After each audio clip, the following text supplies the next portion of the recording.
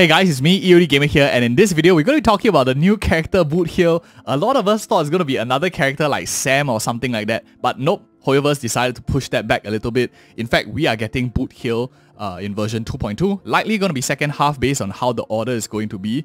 One interesting thing, other than of course the fact that we know he's a 5 star, he's a physical hunt character, is that this guy is also a Galaxy Ranger, which is very similar to any one of you who want to pull like a character like Acheron.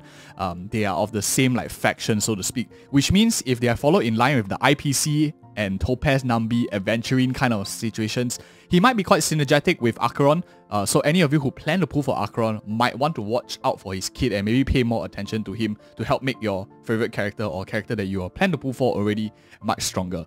If Acheron is in the first half and then we have like a second half and then we have Robin here uh, for 2.1 and 2.2, in that case we do have a bit more time to at least save uh, two banners just for this character Boothill.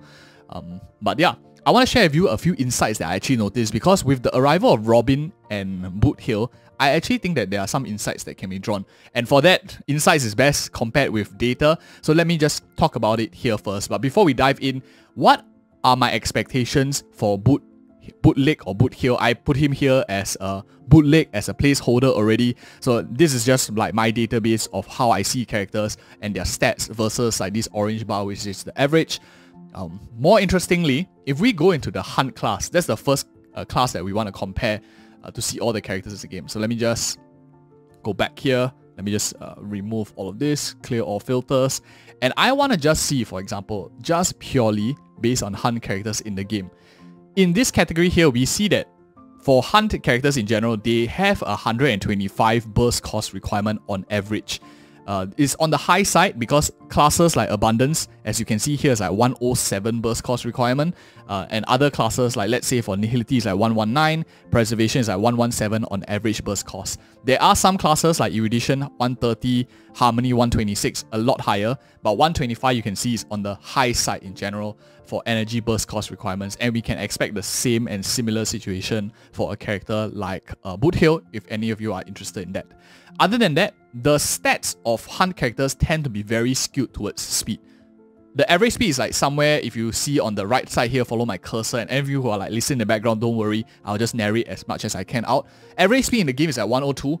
Every single hunt character in the game is above average speed of all characters in Honkai Star Rail. They generally have some sort of like speed buffing or turn manipulation, except for Doctor Ratio, but he has like follow-up attacks and stuff like that, so he takes turns like outside his order. Other than that, all hunt characters have something to do with like taking more actions, moving more often, moving faster. Uh, we can expect the same for a character like Boothill as well, who is a physical hunt character. Other than that, they tend to be squishier than average hunt characters as usual.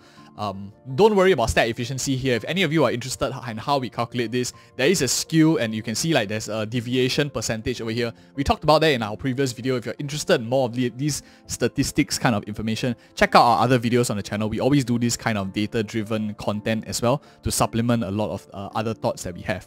So that's the first aspect for the hunt class. The next one, which is going to be fun, is the physical class we are getting two new characters in the physical element compared to in other patches where we will have it split and stuff. And we only have like really like seven physical previously. How many quantum do we have?